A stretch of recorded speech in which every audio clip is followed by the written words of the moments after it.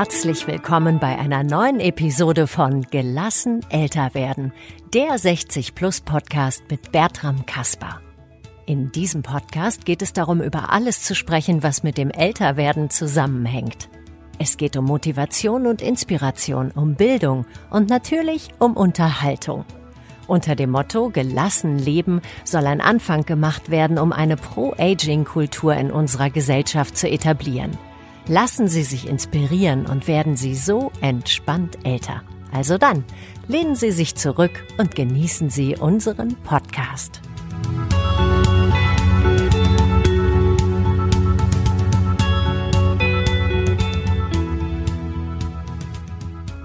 Ja, herzlich willkommen auch von meiner Seite. Heute zur achten Episode.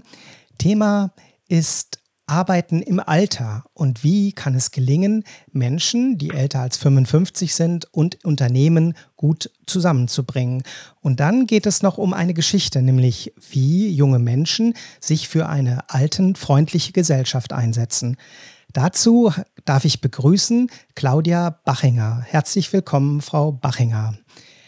Hallo, vielen Dank für die Einladung. Sehr gerne, genau. Ich bin ganz neugierig auf das, was Sie machen. Sie sind ähm, Gründerin und CEO von ähm, Visa, beziehungsweise Sie sprechen das noch ein bisschen anders aus, glaube ich.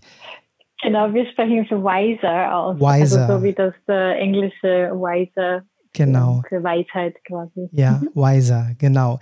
Und wenn Sie sich unseren Hörerinnen einfach ein bisschen vorstellen, was ist Ihr Hintergrund? Mhm. Ähm, also wir haben, ich, wir haben 2017 unsere Firma gegründet und unsere Plattform entwickelt.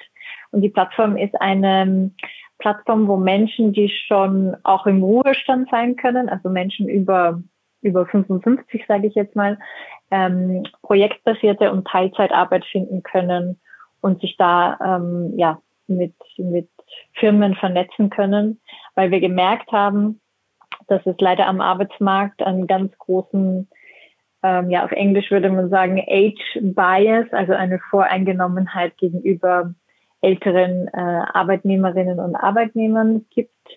Und die Idee ist, ist eine längere Geschichte, wie die Idee entstanden ist, aber mhm. ähm, genau, gestartet haben wir tatsächlich 2017. Mhm. Genau, vielleicht können Sie die Geschichte gleich ein bisschen erzählen. Ähm, mhm. Denn damit verbunden ist ja quasi auch eine echte Vision, so wie ich das zu, zumindest in der Vorbereitung verstanden habe. Genau. Mhm. Also wir haben uns ähm, als Vision vorgestellt, eine, eine Welt, wo Alter uns nicht mehr definiert und jeder, egal in welcher Lebensphase, ähm, das machen kann, was er machen möchte und dazu auch befähigt wird. Und entstanden ist bei mir persönlich jetzt die Idee, irgendwie durch ganz unterschiedliche ähm, Momente, sage ich mal, die mich dann nicht losgelassen haben. Ein Moment war zum Beispiel, ähm, wie meine Oma selber in, in Rente gegangen ist mhm. und wie ich dann mitbekommen habe, dass es eigentlich ganz schwierig ist für viele Menschen, so von 100 Prozent Arbeiten auf 0 Prozent Arbeiten ähm, runterzugehen und das auch oft gar nicht gewünscht wird. Und dann habe ich so ein bisschen recherchieren begonnen und habe gemerkt, ähm, dass so das Thema Altersdepression auch ein ganz großes Thema ist und ähm, überhaupt diese dritte Lebensphase, sage ich mal, also diese ja sehr lange Zeit noch, die man hat, wenn man mit 60 oder 65 in den Ruhestand geht, ähm, dass sie so unvorbereitet kommt und man so gar nicht äh, weiß, was man eigentlich alles noch an Potenzial ähm, hat und verwenden kann. Mhm. Und und ansonsten, ich war vorhin ähm, Dokumentarfilmemacherin, also ich war eigentlich ganz, ganz in einem anderen Bereich tätig. Aber was ich dort gelernt habe, ist, ist eben zuhören und ähm, zu verstehen, was so die Schicksale sind von, von und Bedürfnisse von Menschen. Und eine der größeren Dokumentationen, die wir damals auch gemacht haben, war rund um das Thema äh, Zukunftsforschung, also Zukunftstrends. Und, und damals war ich 29 und fand das irgendwie total schockierend, dass, dass so eine große Anzahl der Menschheit jetzt schon über 50 ist und wir alle eigentlich so alt werden dürfen sage ich jetzt. Mhm. Ähm, und dass aber gleichzeitig hier von auch von Regierungsseite und von von der Wirtschaftsseite gar nicht drauf eingegangen wird und und eigentlich ähm, das Thema so ein bisschen ignoriert wird.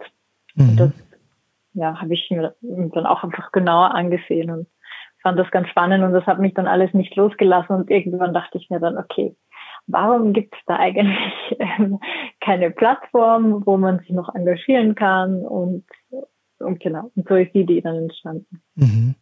Ja, total spannend. Also quasi eine Mischung aus eigenen Erfahrungen, aus dem näheren Umfeld, verbunden aber auch mit wirklich einer Vision, nämlich gesellschaftlich Einfluss zu nehmen und Bedingungen zu schaffen, die es auch älteren Menschen erleichtern, ja, sich mit ihrem Können, mit ihrem Wissen, mit ihrer Erfahrung, mit ihrer Weisheit sozusagen zur Verfügung zu stellen. Genau. Mhm. Ich fand da auch ähm, eine ganz schockierende Zahl war für mich so, dass nur drei Prozent der Millennials, zu denen ich ja gehöre, mhm. also ähm, zwischen sag ich mal, 25 und 35, ähm, nur drei Prozent von dieser Zielgruppe hat mit Menschen über äh, 53 regelmäßig Kontakt außerhalb mhm. ihrer Familie. Ja. Und umgekehrt aber auch. Das heißt, dass diese Generationen, diese zwei großen Generationen, die man ja so einteilt, ist auf der einen Seite die, die Babyboomer mhm. ähm, und auf der anderen Seite quasi die Kinder davon, also die Millennials, dass da leider gar kein Austausch mehr stattfindet und das hat natürlich viele gesellschaftliche Gründe, wie zum Beispiel, dass wir nicht mehr in Generationenhaushalten leben zum mhm. Und dass es auch ähm, zwischen Stadt und Land ein sehr großes Gefälle gibt.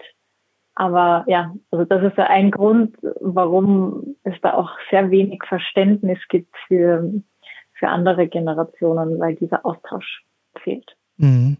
Genau, der bekannte Zukunftsforscher Matthias Hawks, der sagt ja, dass es quasi wirklich notwendig wird, dass wir eine, wie er es nennt, sogenannte Pro-Aging-Kultur in unserer Gesellschaft entwickeln, ähm, wo sozusagen neue Alter, Alterns- und Altersbilder entwickelt werden, wo es darum geht, quasi, ja, zu berücksichtigen, dass wir aufgrund der großen Zahl und der immer größeren Zahl, Sie haben die Babyboomer angesprochen, eben viele alte Menschen, Menschen haben, die auch noch was wollen. Genau. Mhm.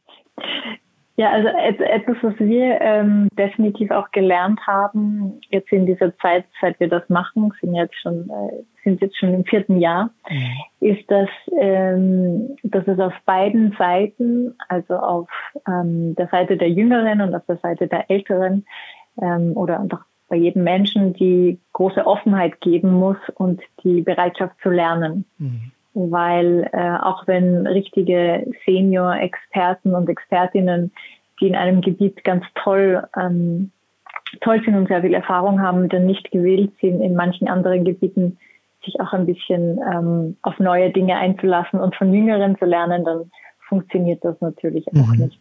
Mhm. Also es muss, das muss, glaube ich, überall gefördert werden und auch bewusst gemacht werden, dass das etwas ist, das uns ja, das wir einfach machen müssen. Mhm. Ja, die, die Haltung, die Sie da vertreten, ähm, und die kommt ja auch in dem Slogan Ihres Unternehmens, Sie haben den vorhin angedeutet, stell dir eine Welt vor, wo Alter uns nicht definiert. Ähm, zieht Ihr Unternehmen ältere Menschen an? Also wollen ältere Menschen in Ihrem Unternehmen arbeiten? Ja, ja, wir kriegen, wir haben immer sehr viele Bewerbungen bekommen und nach wie vor, mhm. ähm, aber auch von sehr vielen Jungen. Also okay. ich merke, dass das, ähm, dass das Thema, ich bin ja jetzt 34, mhm. ähm, also würde wahrscheinlich auch noch als jung definiert werden, mhm. Dass wir ganz viele Menschen äh, anziehen, die selber auch noch jünger sind, weil sie vielleicht selber eine Erfahrung gemacht haben ähm, in ihrem Umkreis. Mhm. Und aber auch natürlich ähm, ganz viele Bewerbungen sozusagen von unserer eigenen Plattform, wo Menschen äh, mitgestalten möchten. Mhm. Ja. Mhm. Und wir haben im, ähm, im Vertrieb hatten wir immer schon äh, ältere ähm, und wo hatten wir noch? Und in der, in der Buchhaltung, ja. Buchhaltung und Controlling. Ja, spannend. Das mhm. war, hat sich irgendwie auch sehr gut angeboten. Also mhm. von den Bereichen her, wo das ganz gut klappt, ist tatsächlich ähm, der Vertrieb als, als Bereich, wo man einfach gut gute soziale Kompetenzen mitbringen muss und, mhm. und auch viel Lebenserfahrung ein Vorteil ist. Mhm. Äh, das hat immer gut geklappt. Und ähm, Buchhaltung und ähm, also alles, was rund um das Finanzthema ist eigentlich auch, weil das die Jüngeren oft mal nicht so interessiert oder die Genauigkeit vielleicht auch nicht so fehlt. Also das mhm. brachte sehr gute Ergebnisse. Ja. Ja, spannend. Genau, weil das hätte ich mir so gedacht. Also ich bin 58 und ich habe, hab, als ich mich quasi mit Weiser beschäftigt habe und auch mit Ihnen, ist mir, ja, da hätte ich, ich hätte Lust sozusagen bei Ihnen anzufangen. Ich finde das alles total spannend. Genau, das ist, ja. Ja, unser, mhm. unser Anspruch war, ähm, dass wir so ein Produkt machen, das das auf der einen Seite für natürlich Menschen mit sehr viel Erfahrung ähm, gemacht wird, aber dass es trotzdem nicht so äh, altmodisch ist. Mhm. Also dass es trotzdem sehr modern von der Marke und der Name ist sehr modern und, mhm. und die Farben, die wir verwenden, sind sehr bunt und alles. Mhm, stimmt, dass ja. wir das Ganze so ein bisschen spielerisch auch ähm, gestalten. Ja, das ist gelungen, finde ich, auf jeden Fall. Mhm. Kommen wir auf Weiser ein bisschen konkreter zu sprechen. Wie ist denn der Weg zu Ihnen? Wie geht das? Also, wenn unsere Hörerinnen sozusagen sich fragen, wie kommen Sie denn auf Ihre Plattform und wie können Sie sich sozusagen mit dem, was Sie zu bieten haben, Unternehmerinnen und Unternehmen anbieten? Mhm. Also, unsere Plattform funktioniert im besten Fall so, dass wir gar nicht eingreifen äh, müssen. Mhm. Das bedeutet, ähm, die Menschen, die etwas suchen, können sich ähm, auf der Webseite eine, ein Profil erstellen. Das Profil ist nicht so ein klassischer Lebenslauf, wie man das kennt, sondern wir haben es ein bisschen anders gestaltet. Und zwar haben wir drei wichtige Fragen, die wir stellen. Und zwar, was kannst du richtig gut und warum? Ähm, was möchtest du überhaupt noch machen? Und wie sieht das ideale Arbeitsumfeld aus? Und dann haben wir noch im Lebenslauf auch so drei ähm, drei Lebenshighlights, was sehr, sehr gerne ausgefüllt wird, weil da mhm. erzählen dann die Menschen meistens ähm, ja, von ihrer Persönlichkeit oder dass sie eine Weltumsegelung gemacht haben mhm. oder eine irgendetwas gebaut haben. Ähm, genau. Und dieser moderne Lebenslauf, der ist dann einsehbar für die Firmen. Mhm. Das heißt, die Firmen können dann direkt ähm, von ihrer Seite her auf die Lebensläufe zugreifen. Und das heißt, die Menschen können gefunden werden. Und umgekehrt geht aber auch, dass eine Firma ein, eine Stelle oder ein Projekt ausschreibt mhm. und die Menschen können sich daraufhin quasi mit einem, mit einem Klick bewerben mhm. und dann eröffnet sich eine, eine Nachricht und die wird dann direkt an die Firma geschickt. Mhm. Das heißt, ähm, diese ganze, dieses ganze Matching, dieses ganze Kennenlernen äh, funktioniert eigentlich über die Plattform im ja. ersten Schritt. Ja. Aha. Und mhm. wie, ähm, wie kommt es an, dass Sie so einen etwas unkonventionelleren Lebenslauf wählen bei den Unternehmen? Mm, also es ist so ein bisschen, es wird ein bisschen gemischt aufgenommen bei den, bei den innovativeren Unternehmen. Die mhm. finden das total gut, mhm. weil sie so ein bisschen einen ganzheitlicheren Menschen kennenlernen. Ähm, aber natürlich bei vielen Personalabteilungen hat man so eine klare Vorstellung, wie der Prozess ablaufen muss. Mhm.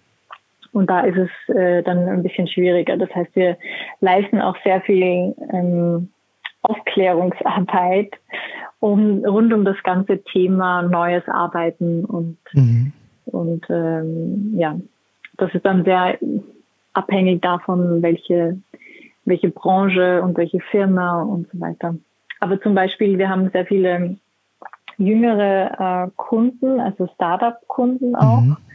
Das sind eben als digitale Unternehmen und die finden das eigentlich immer ganz toll, dass der Lebenslauf so ein bisschen anders aussieht. Mhm.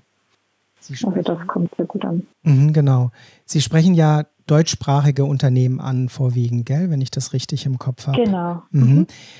Erkennen Sie einen Unterschied quasi zwischen Österreich, Schweiz und Deutschland? im Umgang mit diesen 55-Plus-Jährigen? Ähm, ich glaube, also ich erkenne schon sehr viele Unterschiede, wobei die haben oft mal nichts mit, der, mit unserer Zielgruppe zu tun, sondern zum Beispiel, dass, dass die Firmen in Deutschland viel mehr mh, hm, deutschsprachige Begriffe verwenden, mhm. währenddessen die Schweizer und die Österreicher oftmals schon mehr Anglizismen mhm. ähm, gewöhnt sind. Ähm, in Bezug auf die Zielgruppe muss ich ehrlich sagen, ist es, glaube ich, weltweit noch immer ein schwieriges Thema. Mhm. Also nicht nur in Deutschland und nicht nur in Österreich. Ähm, vielleicht die nordischen Länder sind uns ein bisschen voraus. Mhm. Also in Schweden gibt es ganz viele Menschen, die bis 75 ähm, arbeiten. Das ist in Österreich und in Deutschland noch nicht der Fall. Also mhm. wir sind beide Länder sind da eigentlich noch sehr weit ähm, am Anfang und da gibt es noch viel Potenzial nach oben.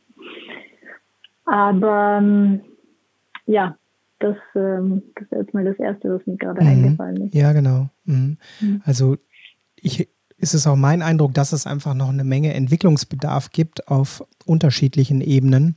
Und das bestätigen auch Alternsforscher, mit denen ich spreche zu dem Thema, dass wir da ja noch Potenzial, noch Luft nach oben haben tatsächlich. Ja. ja. Mhm. Das, was ich, äh, was mir immer äh, aufgefallen ist als sehr spannende ähm, Komponente, ist, dass, dass es ein super individuelles Thema ist, mhm. ob die Person, die vor mir sitzt, also in der Personalabteilung zum Beispiel, äh, ob diese Person eine Offenheit für eine ältere Zielgruppe hat oder nicht.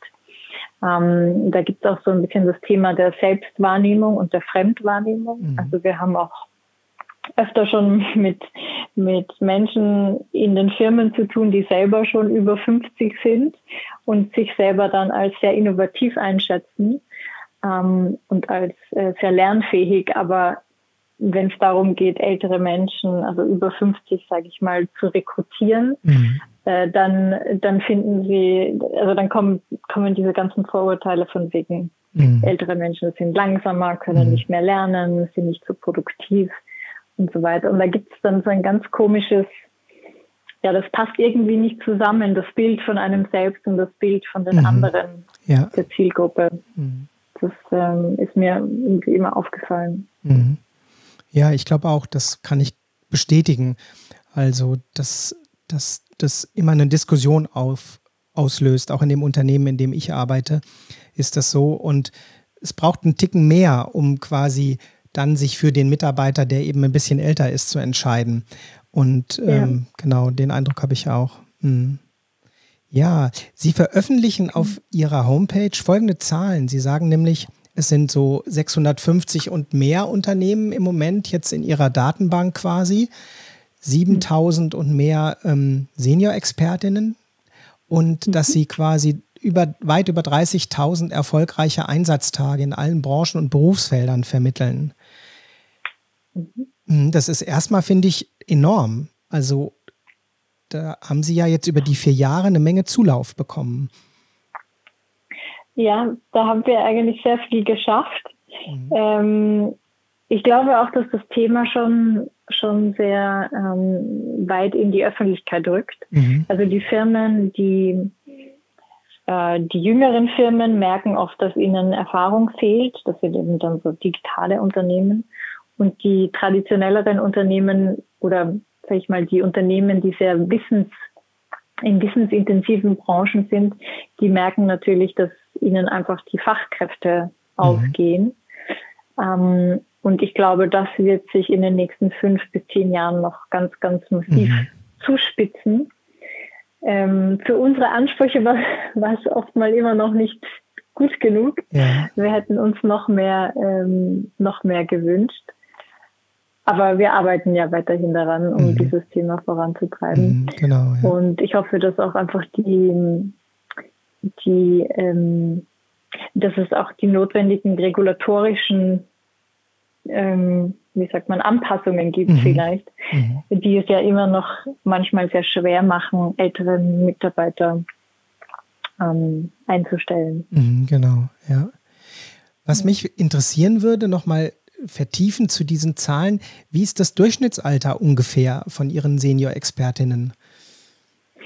Ja, das Durchschnittsalter, ähm, kann, sehe ich hier da gerade, ist zwischen 58 und 67. Okay, Wahnsinn. Das mhm. ist so die, also wir haben so eine richtige äh, gausche Glockenkurve, mhm. das heißt, es geht bis, ähm, bis 82 haben wir Wahnsinn. Menschen, die sich registrieren. Und es beginnt schon so bei Anfang 50, aber unsere Hauptgruppe ist eigentlich so, äh, ja, plus minus 60. Mhm. Da sind die, die meisten Menschen, die sich registrieren. Das heißt, eigentlich ist das noch nicht das offizielle Renteneintrittsalter. Mhm, ja. Aber in der Realität ist es einfach so, dass viele dann schon in Ruhestand sind oder ja mhm. oder in Frührente ähm, gegangen sind. Mhm, genau. Deshalb ähm, ist das, so erkläre ich mir so ein bisschen ja. dieses Alter. Das sind auch die wirklich jüngeren Älteren, die eigentlich noch super, super motiviert sind mhm. Und aber aus irgendeinem Grund nicht mehr äh, in einer Vollbeschäftigung sind. Mhm. Genau, Sie haben ja davon genau. gesprochen, dass es quasi projektbezogen und ähm, Teilzeitaufgaben ähm, gibt, quasi, die dann gerne übernommen werden. Ähm, mhm. Wie äh, wie ist da Ihre Erfahrung? Also wie fühlen sich die Senior-Expertinnen in den Unternehmen? Wie lange sind die da im Durchschnitt? Also was hören Sie von denen als Rückmeldung, wenn dann so eine Vermittlung mhm. klappt? Also die ähm, grundsätzlich merken wir, dass das Thema Projektarbeit oder Teilzeit, das ist das, was sie wünschen, was sie sich wünschen. Mhm. Ähm, in unseren Gesprächen mit den Menschen ist es so, dass wir als Feedback bekommen, dass niemand mehr wirklich eine Vollbeschäftigung möchte mhm. über, ich sag mal, über 58. Ähm, sondern dass es wirklich so diese, was sehr gut ankommt, ist einfach die Flexibilität zu sagen, ähm, also zeitliche Flexibilität, aber auch örtliche Flexibilität und sich das eben so einzuteilen, wie es gut geht, körperlich, aber auch mental und ähm, wie es einfach Spaß macht. Mm, von den von denen, die mir jetzt gerade einfallen, also wenn es darum geht, um längerfristige äh, Tätigkeiten, wie zum Beispiel in der Buchhaltung, mhm. wo wir ja auch ähm, einen 63-jährigen Herrn bei uns haben, der ja. das für uns macht. Ähm, da ist es dann oft so, dass es längerfristig ist. Also bei uns zum Beispiel ist es jetzt schon seit seit drei Jahren haben mhm. wir haben wir den Edmund und aber die die Stundenanzahl ist eigentlich sehr gering. Also mhm. es sind glaube ich ich sag mal zehn bis zwölf Stunden mhm. im Monat eigentlich nur.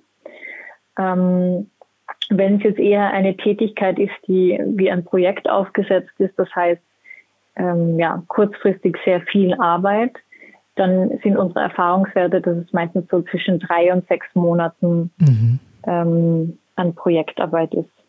Mhm. Genau. Mhm. Und wie ist das Verhältnis zwischen Frauen und Männern? Ja, das ähm, ist leider sehr schockierend für mich. Mhm, äh, ja. In Deutschland haben wir da eine, ähm, einen Unterschied von drei, äh, was war das, 70 zu 30. Also 70 Prozent Männer und ja. nur 30 Prozent Frauen. Mhm.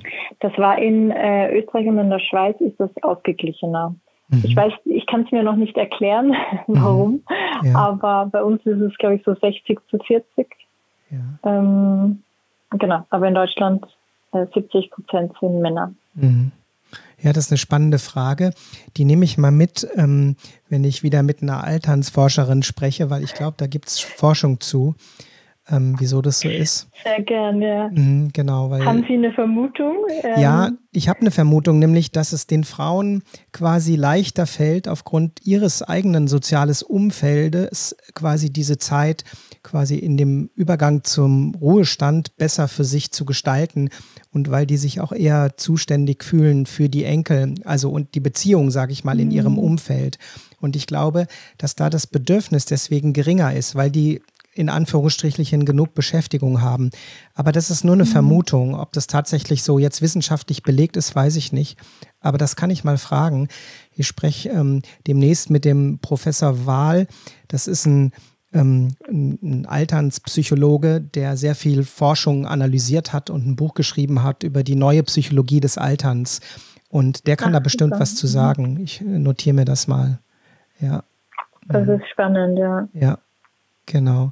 Was mich auch noch brennend interessieren würde und wahrscheinlich unsere Hörerinnen auch, ähm, was kriegen Sie für Rückmeldungen, wenn dann die Vermittlung geklappt hat und ähm, wenn sozusagen die Unternehmen und die Senior-Expertinnen zusammenkommen?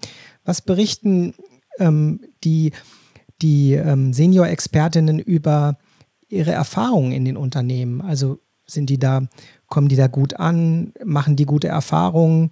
Was kriegen Sie damit? Hm.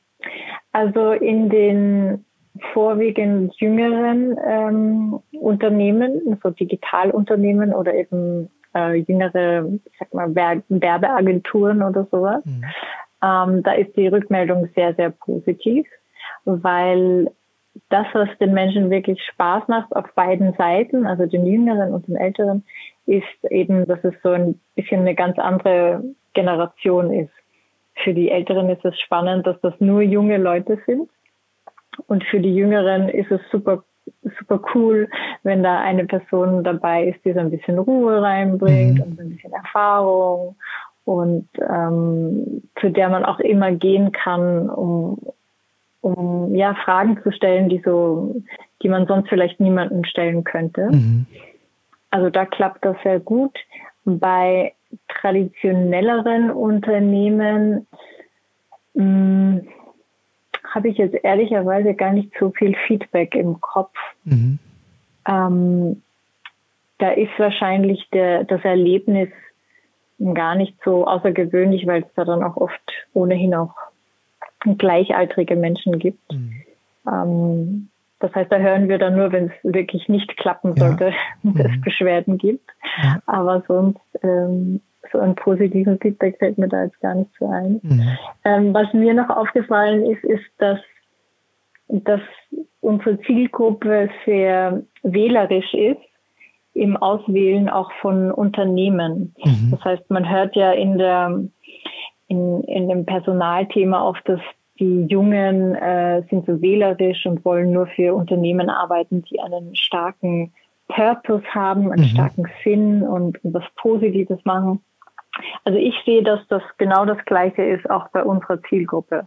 Die Menschen haben keine Lust für, mhm. für irgendwie große Konzerne zu arbeiten, die keinen guten Ruf haben und keine mhm. gute Marke haben. Das, ähm, das interessiert die wenigsten. Mhm. Also das, äh, glaube ich, ist wirklich so generationenübergreifend ein, eine neue ähm, Wertehaltung einfach. Ja. Man möchte für ein Unternehmen arbeiten, das ja irgendwie was Positives gestaltet. Genau, ja, gerade auch wenn ich das ja sozusagen selbst ausgesucht mache als älterer Mensch und ähm, mich entscheiden kann, zu welchem Unternehmen ich denn gehe. Also wenn ich sozusagen nicht mehr unbedingt arbeiten muss, dann habe ich ja eine ganz andere Voraussetzung. Genau, mhm. ja. Ja. Also das, deswegen diese, diese Mythen von wegen, äh, die Jüngeren sind so in der Arbeit mhm. und die mhm. Älteren sind so, die stimmen eigentlich so gar nicht. Also mhm. ich kann da wirklich sehr selbstbewusst sagen, dass das eigentlich durch die Bank sehr ähnlich ist. Das heißt, mhm. das Thema flexible Arbeitszeiten, ähm, positive positive Arbeitskultur und, und Purpose mhm. und was Sinnvolles zu tun. Mhm. Ich glaube, das ist wirklich ähm, für alle Generationen mhm. das, was sich die Menschen wünschen. Mhm. Ja, die, die Alternsforscher sagen ja auch, dass das Thema Generativität, also was hinterlasse ich sozusagen noch einer nachfolgenden Generation für Menschen quasi im Ruhestand und darüber hinaus eine große Rolle spielt. Und das zahlt ja mit darauf ein, was Sie gerade schildern, nämlich, dass mhm. es, dass ich wirklich noch was Sinnvolles machen möchte, was auch eine Wirkung erzielt und eine Resonanz auch in die Gesellschaft hineingibt. Purpose war Ihr Stichwort. Mhm. Genau. Ja. ja. Ja, total spannend, dass Sie das so quasi bestätigen können. Ja, das, ähm, das habe ich mir am Anfang ehrlicherweise auch gar nicht so gedacht irgendwie. Ich bin ja da mehr oder weniger so reingestolpert, mhm. aber jetzt ist es schon eine sehr spannende ähm, Datenbank, die wir da auch aufgebaut haben mhm. und sehr spannende äh, Einblicke, die wir da bekommen mhm. in, in vielleicht eine Altersgruppe, die sonst so gar nicht ähm, so erforscht ist, auch, auch vielleicht eben von, von Forschern, die sich da wirklich genau. ähm, darauf spezialisiert haben. Ja. Mhm. ja, genau. Welche Visionen, Pläne haben Sie denn noch für Weiser? Wo soll es noch hingehen?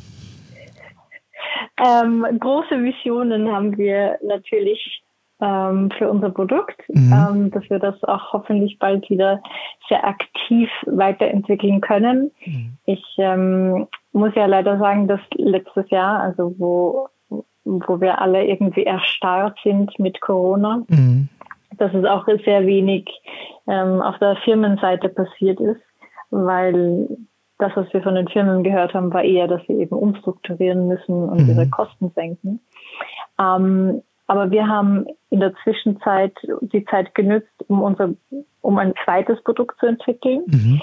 Und das ist ein Produkt für große Firmen, wo teilweise bis zu ein Viertel der Belegschaft in Rente gehen wird in den nächsten mhm. sieben bis zehn Jahren. Und ähm, wir helfen den Firmen dabei, dass sie sozusagen innerhalb ihrer Firma den intergenerationellen Austausch fördern. Das heißt, ähm, junge Menschen können Fragen stellen, also digital, und die Schwarmintelligenz der, der Senior-Experten können diese Fragen dann ähm, beantworten. Mhm. Und idealerweise lässt man die Senior-Experten dann auch über den Ruhestand hinaus an diesem Netzwerk teilnehmen. Also das ist so die, mhm. Die ähm, das Produkt, an dem wir jetzt arbeiten. Und Genau, und das wäre dann so eine Kombination eben also auf der einen Seite für die großen Unternehmen mhm. ein Produkt zu haben und auf der anderen Seite die Plattform, die weiterhin ja. besteht, aber eben eher für kleinere Unternehmen mhm. eigentlich Erfolg oder Mehrwert schafft. Ja, genau. Ich glaube, vor der Entwicklung, die wir beschrieben haben und auch durch die Babyboomer, ist das eine echte ähm, Lücke, die Sie ja. da versuchen zu füllen, gerade eben in den großen Unternehmen. Mhm. Genau. Mhm. Also es ist äh, wirklich, in der Verwaltung ist es noch, äh, noch schlimmer. Ja. Da geht, glaube ich, jeder Dritte in Rente. Ja. ähm, und da sind alle noch sehr, ähm, sehr auf, äh, sehr verloren mhm. mit, mit, diesem, mit dieser Problematik. Also das ist noch nicht gelöst. Nee, das ist noch nicht gelöst. Ja, sehe ich auch so. Mhm. Ja. ja. genau. Kommen wir langsam zum Ende. Ähm, ich höre ja, dass Sie eine ganze Menge machen quasi dafür, dass wir eine alterns- und altersfreundlichere Gesellschaft kriegen. Ich nenne das ja auch gerne Pro-Aging-Kultur. Und wie stellen Sie sich Ihre dritte Lebensphase vor, ausgehend von heute? Was würden Sie sich sozusagen wünschen dafür, ähm, wenn wir jetzt, Sie haben gesagt, Sie sind 34, wenn wir 30 Jahre weiterdenken? Ja, also ich glaube schon, ähm, ich werde sehr oft gefragt, warum ich das überhaupt jetzt auch mache. Mhm. Ähm, ich glaube schon, dass ein Teil von mir auch es sich einfach dafür äh, vorbereitet und schon jetzt mhm. versucht, eine Welt zu gestalten, die ich mir dann später wünschen würde. Mm, und da quasi in Vorarbeit gehe, um, um das dann ähm, zu ermöglichen. Mhm. Und ich glaube, würde nie ähm, komplett aufhören, mich beruflich zu engagieren. Also mhm. ich möchte immer zumindest Mentorin sein ja. ähm, oder einfach aktiv, ja, aktiv Projekte umsetzen und kreativ zusammenarbeiten, auch mit Jüngeren. Ich glaube, das würde ich dann mir wünschen, mhm. auch für mich selber. Mhm. Ja, ist ein schönes Bild, finde ich. Das geht mir ganz ähnlich. Ich will auch nicht aufhören zu arbeiten, aber ich will mit mehr Zeitsouveränität und nicht mehr unbedingt in einem Angestelltenverhältnis arbeiten, sondern frei. Und ich kann mir auch überhaupt nicht vorstellen, komplett aufzuhören mit Arbeit. Aber eben Arbeit, ja. die ich mir aussuche, sozusagen. Mhm. Genau, dieses mhm. selbstbestimmte, ja. selbstbestimmtes Arbeiten. Mhm. Das ist ja das, wo wir glaube ich, alle hinwollen mhm. irgendwie. Ja, das glaube ich auch, ja. Ja, wunderbar. Dann sage ich herzlichen Dank, Frau Bachinger, für das sehr, Gespräch. Sehr genau. Und ähm, genau, und ich bin gespannt. Ich werde das mit im Blick behalten, wie das mit Wiser weitergeht. Und ich glaube, ähm, ja, ich erzähle das immer schon in meinem quasi Umfeld, weil da sind ja lauter Menschen in meinem Alter und die ja. hören da auch interessant zu. Und ein Nachbar hat sich auch bei Ihnen schon angemeldet auf der Plattform. Ah ja, toll. Genau. Und von daher ist es auch, also geht es da so irgendwie weiter. Und, ähm, und ich glaube, das ist eine gute Sache, weil der hat auch noch total Lust, was zu machen. Mhm, genau. Ja, herzlichen Dank. Dank. Tschüss. Tschüss. Herzlichen Dank fürs Zuhören. Das war's heute auch schon mit dem Hörmagazin für Menschen in der dritten Lebensphase. Wenn es Ihnen gefallen hat, abonnieren Sie unseren Podcast auf der Homepage www.gelassen-älter-werden.de finden Sie unser Magazin und weitere Informationen.